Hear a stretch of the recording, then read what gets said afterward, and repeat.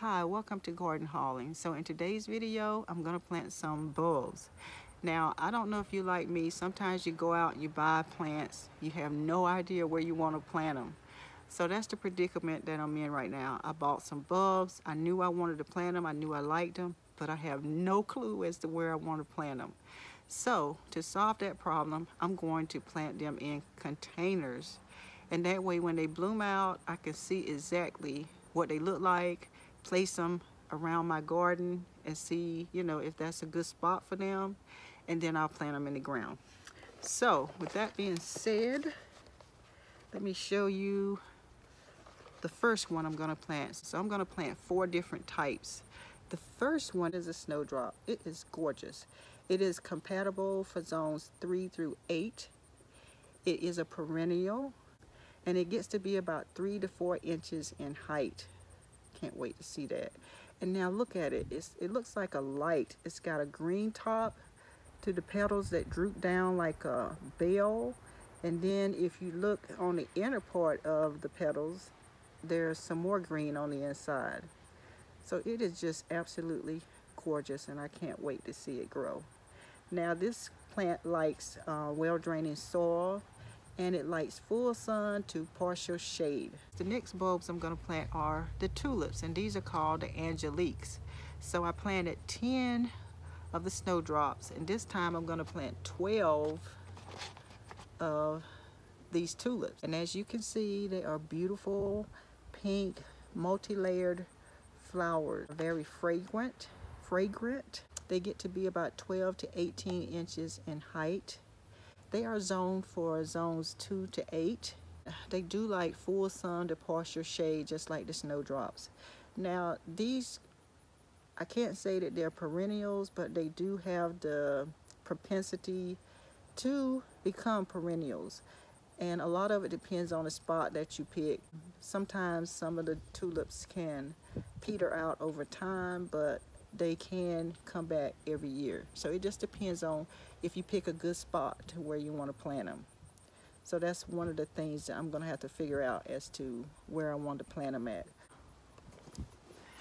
So the next bulbs I'm going to plant are called the Narcissus. So I have six of these. People commonly refer to them as daffodils. They grow to be about 14 to 16 inches in height. They are compatible for zones 2 to 10. They like well-draining soil. They are double petaled. As you can see, they are just beautiful. They have these pale white petals with delicate yellow color in the middle. And they will come back every year, so they are perennial. So at the end of the growing season, just allow them to die back uh, naturally and they will come back. They like well-draining soil and they like um, full to partial sun. So I can't wait to see these grow. So the last one I'm going to plant are called the hyacinths. And let me show you. These are the hyacinths. And they are perennials as well. They only bloom once a year, but they are compatible for zones 2 through 10. They like full sun to partial shade. They are deep blue in color and they have a blue star mix. They grow to a height of 10 to 12 inches. So I'm going to plant seven of the hyacinths.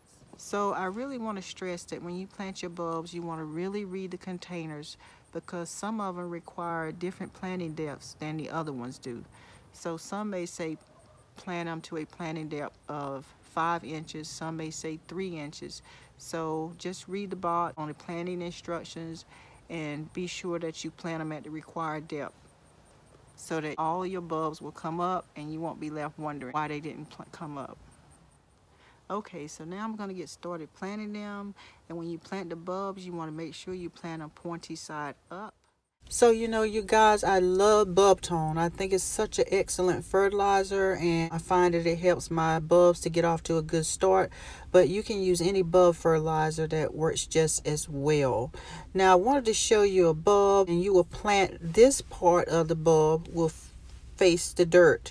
So you want to plant it with the pointed side up because this is where it's going to start sprouting.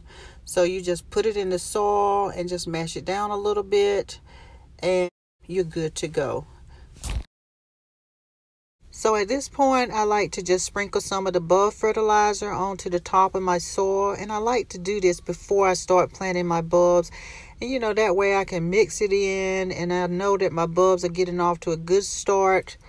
You can also, after you sprinkle your fertilizer into your soil, you can just water it in before you plant your bulbs or you can wait and just water everything at the very end and that's what I like to do. When I get all the bulbs planted I just go back and water everything. So let me get started and I'll show you how I do it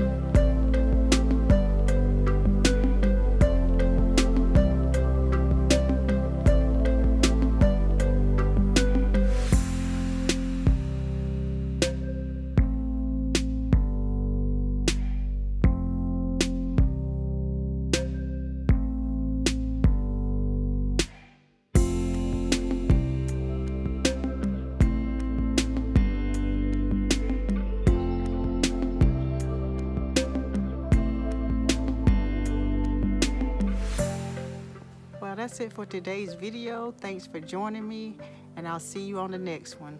Bye-bye.